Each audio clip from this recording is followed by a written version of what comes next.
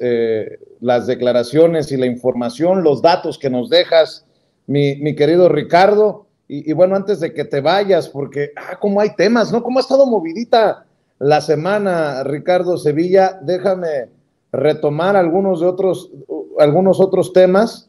Eh, fíjate que eh, estaba revisando aquí las reacciones a estas declaraciones del presidente Andrés Manuel López Obrador en torno a Estados Unidos.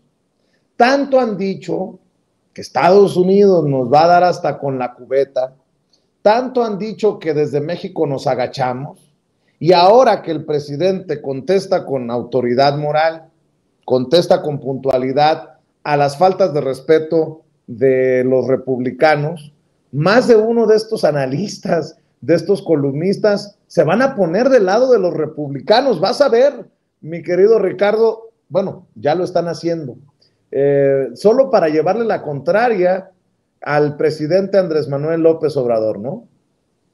Sí, por supuesto. Eh, aquí estos personajes no solamente le quieren llevar la contraria al presidente López Obrador, que sería lo de menos, lo quieren desacreditar por completo. El presidente López Obrador ha sido frontal, tanto al interior del país con la oposición, como al exterior con esa oposición republicana que ha dicho que prácticamente eh, está amenazando a todos los mexicanos, a, las mexicanas, con emplear fuerzas, fuerzas eh, invasivas para que vengan a este país y el presidente López Obrador lo ha dicho una y otra vez, pero ayer de manera más precisa, más formal. Aquí nosotros no somos una colonia. De hecho, sus palabras exactas, si no mal las recuerdo, fueron, no somos ningún protectorado.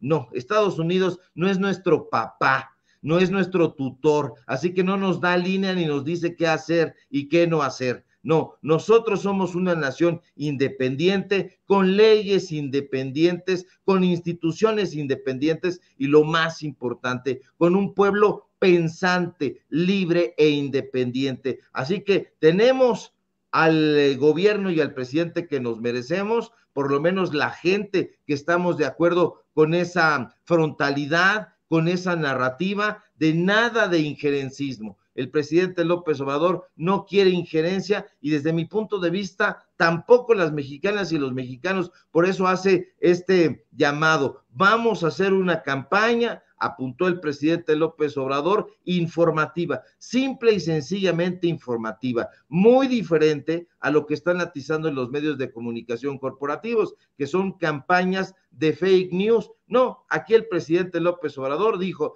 vamos a hacer una campaña informativa que tenga que ver con todo lo que están decidiendo los republicanos. Y de ser así, pues se va a hacer un, llamado a la población a que no, no vote por candidatos ni candidatas republicanas que están eh, o están tratando de lesionar de esa manera a nuestro país. No, el presidente López Obrador me parece que contra los que decían, porque lo dijeron durante mucho tiempo, que era un pueblerino, que era un aldeano, como si además de todo ese tipo de descripciones fueran em, algo de qué avergonzarse, pues estaban diciendo que él no iba a hacer una buena política exterior, porque para ellos la, buena política exterior era ser agachones, era preguntarle a Luis de la Calle, al güero eh, eh, Castañeda Goodman, a, todos estos personajes, cómo estaba la situación, qué opinaban, qué se tenía que responder. Era lo que le preguntaba eh, todo el tiempo Vicente Fox a Jorge Castañeda, era lo que le preguntaba eh,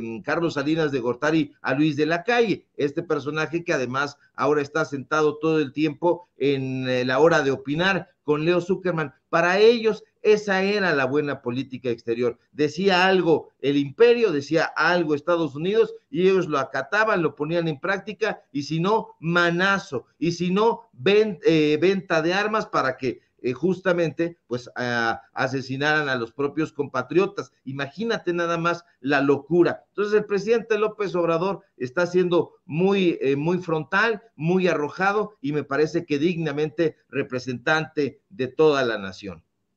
Mi querido Ricardo, como siempre, es un placer saludarte y en este viernes te pido que invitemos a la audiencia de Sin Censura a que estén al pendiente del proyecto que se viene y a que se sigan sumando a tu espacio en YouTube, a tus redes sociales, que te lean, que te escuchen, que te vean, mi querido Ricardo. Claro que sí, querido Vicente, público memorioso. Síganos, estén muy, muy al pendiente porque ya está por salir del horno este paquetazo informativo, esta, este em, proyecto que hemos ido trabajando durante meses, meses y que reúne a varias de las voces críticas, periodísticas, analíticas más relevantes de la prensa libre, de la prensa, diría yo, de izquierda. Así que muy atentos, ya les estaremos dando horarios, ya los estaremos invitando, ya estén ustedes en sus marcas listos para eh, correr a, degustar de este, em, de este pudín informativo que tanto les va a encantar, estoy seguro. Y mientras así ocurren las cosas, síganos por favor en nuestras redes sociales. Necesitamos ese empuje, ese tesón. Síganme por favor en Twitter, arroba Sevilla Crítico, en Facebook, Ricardo Sevilla, así nada más. Síganme en el diario Basta, donde soy columnista. Síganme en los datos duros. Hoy tenemos informativo en punto de las ocho y Es viernes, viernes literario. Eh, síganme, por favor, también en Paralelo 24, donde estamos publicando artículos y reportajes de investigación y por supuesto aquí en la familia sin censura donde somos orgullosamente miembros le duela a quien le duela. Al ratito subimos hilo sobre esto que estamos platicando de Carmen Aristegui. Así que muy atentos. Si todo marcha bien ojalá que sí querido Vicente público memorioso nos encontramos por aquí el próximo lunes. Y mientras tanto, a seguir trabajando. Claro que sí. Te mando un abrazo, maestro, el maestro Ricardo Sevilla, hablando con nosotros sin censura y a